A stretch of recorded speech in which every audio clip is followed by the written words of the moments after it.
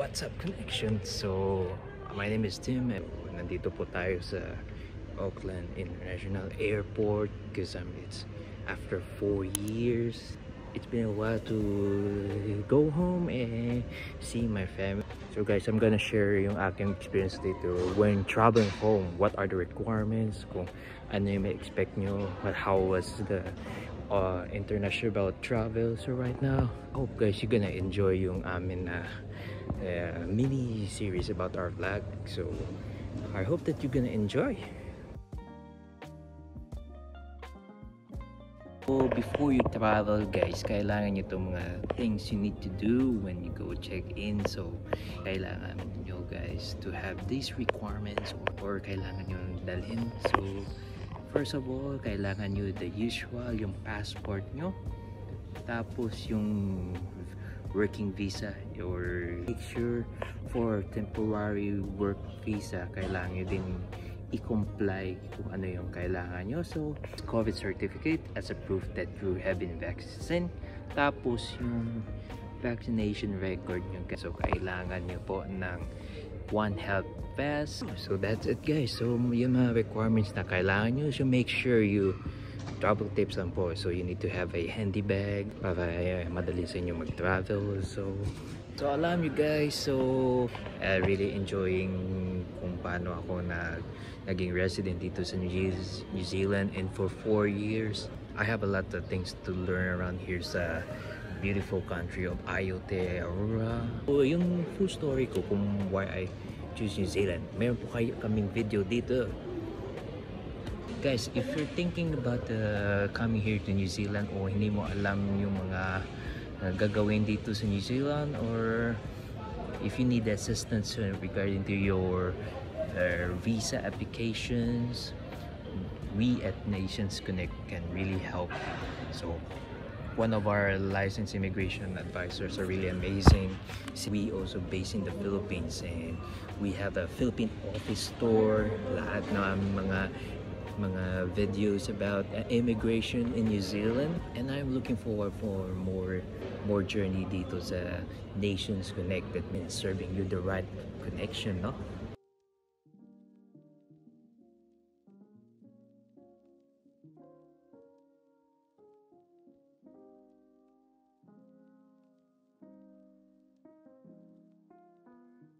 we already passed by guys ano, sa immigration part and everything is all good. Make sure just take note all the things that you need to bring and prohibited before you go home. Just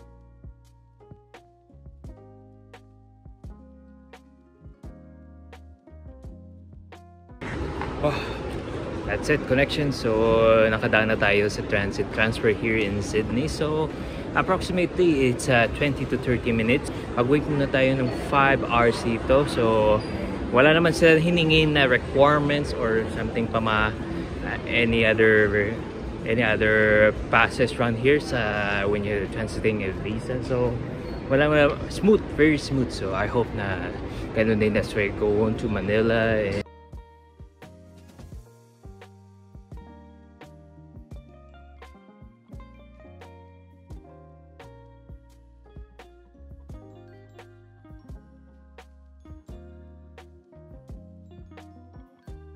Okay guys, so for anything else, bago kayo umuwi sa Manila regard, so new so may new, new na kailangan nyo lagyan yung face mask is required sa on the board ko pag going to Manila. So make sure na may, may face mask kayo that covers your nose and your mouth.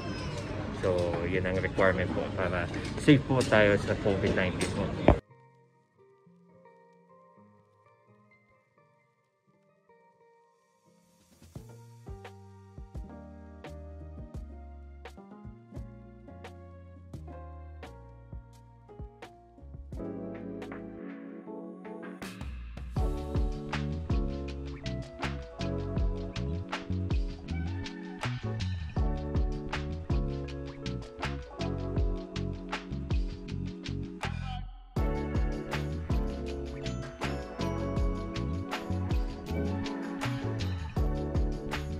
Manila guys, dito na tayo sa Manila. Finally safe and sound. So, been a while. Feel like home. So one step left sa Bacolod po. See you around.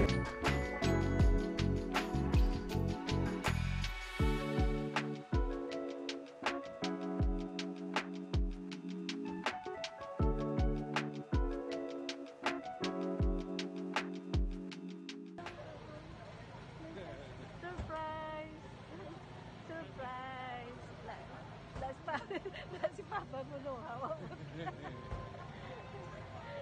Wait, klala siya.